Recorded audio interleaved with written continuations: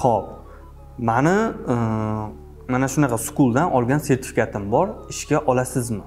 degan savol kelgan ekan. Ho'p biza asosan sertifikatga qarab ishga olmaymiz. Biza uni bilimi va tajribasiga qarab ishga olamiz. Smm sohasini bitirgan odamlargada misol uchun biz ishga olayotganimizda qaysi kursni bitirgansan qaysi sertifikating bor? Bizaga umuman ahamiyati yo'q. Bizaga shu. Qanaqa daraja bor qanaqa bilimga egasan va e, ana shu bilimlar orqali bizaga qanaqa natija ko'rsatib bera olasan mana mana shu biza uchun eng muhim joyi hisoblanadi.